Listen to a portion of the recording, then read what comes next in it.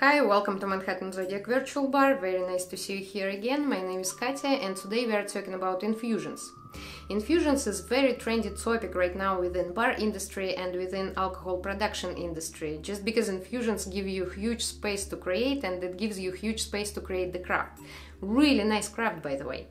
But uh, historically speaking, infusions is nothing new, and the first trace of infusion goes 9000 years back. But current theory says that the first, very first infusion appeared 10 million years ago, at the point where gene mutation met primate evolution. Generally speaking, fermented products consumption is in our genes. And how it happened? 10 million years ago, Homo sapiens would walk around and would see fruits laying on the ground. It was way easier to pick them up than to climb a tree and to get another ones. So this is how we started to consume ripened fruits. But some of those were already fermented and this is where we started to build our tolerance uh, to fermented products. And this was the time where we actually set the base for alcohol production and infusions. Long before infusions started to called infusions, uh, they were typically called tonics, cordials, uh, liqueurs, or medicinals, but the idea was the same to infuse flavor properties into the base spirit. There were several discussions about uh, what was the first infusion was it beer, wine, or was it rice wine? Most likely it was very simple beer fermented out of uh, wild grasses because trace of this beer was found uh, from 10,000 years before and uh, rice was not invented that time yet. Nevertheless, uh, people continued to be very busy by producing beer and meat, and some of these fermented brews uh, were made by combining them with uh, different ingredients and letting these ingredients sit uh, in the alcohol for a while for medicinal purposes, for purposes of flavoring and coloring. And people would use whatever they had on hands, uh, from flour to fruits, from herbs to seeds, some kind of skins. And uh, these ancient ways of producing beer and wine wine are still used in uh, modern production, but uh, infusion itself took its own artsy culinary niche and has uh, a lot of science under that.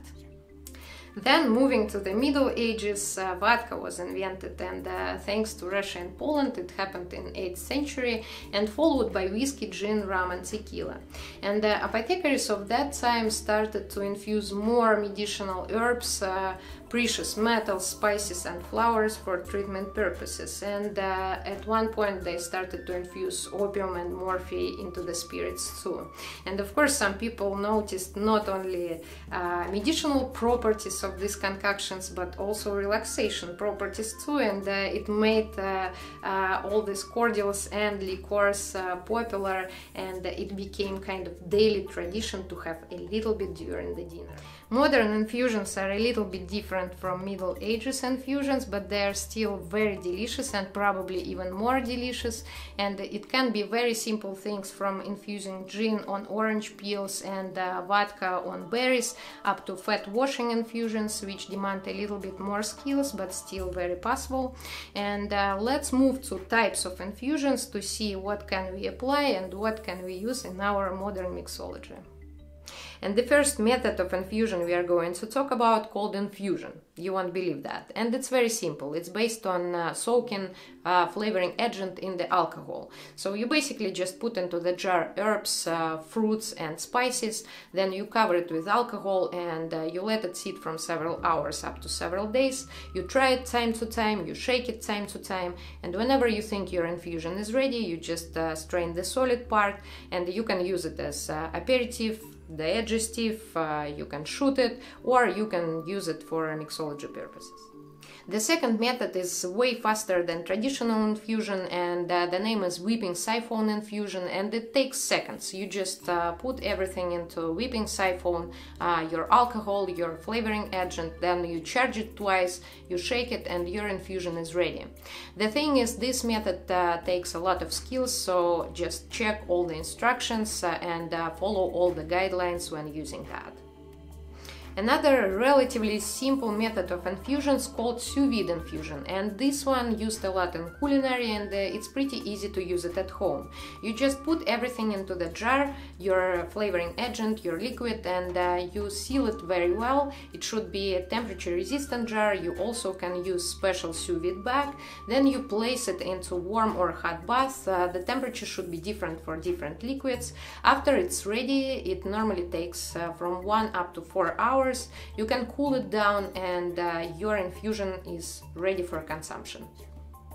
Another interesting and simple method of infusion is called fat washed infusion. And this one was pioneered by PDT Bar in New York City. So the method based on combining flavorful butter, oil or fat with your alcohol. Then you let it sit for about an hour in the room temperature. Then you place it into the freezer until solid part will separate from your alcohol. You remove solid part, you strain your alcohol and your infusion is ready. What will will happen, your alcohol will get smoother, it will get uh, a little bit buttery texture and uh, it will take all the flavor from your fat part. Of course, there are other types and methods of infusions, but these are most commonly used ones in bar and restaurant industry. And right now you have pretty solid idea about the concept and uh, types of infusions you can apply for your home and professional mixology. We are going to post some recipes right under this video. Please feel free to read them. Feel free to ask us questions and uh, we are always happy to see you in our Imbibe community. Have a great day and uh, see you next time.